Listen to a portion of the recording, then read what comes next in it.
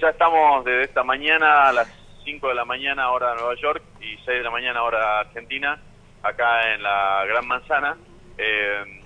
donde mañana va a estar la, nuestra presidenta Cristina Fernández de Kirchner en el Comité de Descolonización de la ONU. Eh, Nueva York estuvo eh, climáticamente hablando con una lluvia bastante eh, fuerte esta mañana tempranito cuando llegamos al aeropuerto al JFK, John Fisher Kennedy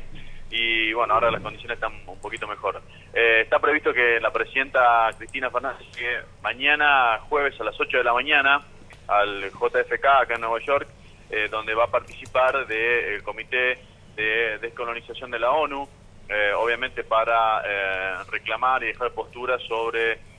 la, la, cuestión Malvinas y también se espera que de parte del Gabinete Nacional acompañándola y algunos dirigentes eh, políticos de, la oposición que no pertenecen al Frente para la Victoria, eh, quienes ya llegaron, ellos también van a llegar mañana acompañados a la presidenta, quienes sí ya llegaron hoy eh, a Nueva York también son los familiares y también algunos excombatientes de Malvinas, porque hay que recordar que también mañana, 14 de junio, se cumplen 30 años de la rendición de Argentina en Malvinas, en la guerra en el sur del país, ¿no? ¿Cuál es el clima que se está viviendo en este momento? Bien, bien mencionabas que están llegando las distintas personas que van a participar, pero desde el lado de la organización, ¿cómo, se cómo está previsto? Bueno, mañana está previsto obviamente que la, reunión se, se, desarrolle en la sede de las Naciones Unidas,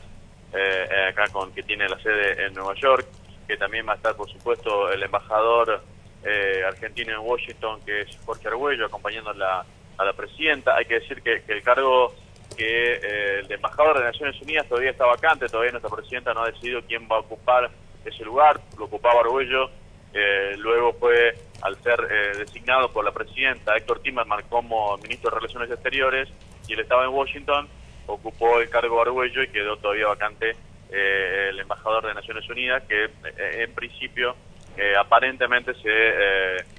definiría estos días, cuando esté acá en Nueva York, quién sería el quien lo ocuparía la, vacante, ¿no? Acá en las embajadas de Naciones Unidas, que la embajada argentina está justo al frente de Naciones Unidas acá en Nueva York.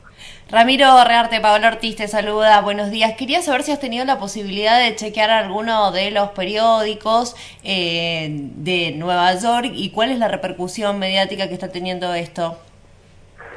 No, la verdad que no ha tenido repercusión, por lo menos en el New York Times del día de hoy. Tal vez mañana los diarios reflejen algo de la reunión de, la ONU, pero lo que es hoy, eh, miércoles 13, no, no, hubo ninguna, no hubo ninguna eh, información o noticia crónica de lo que refleje mañana la reunión del Comité de Descolonización de la ONU, ¿no?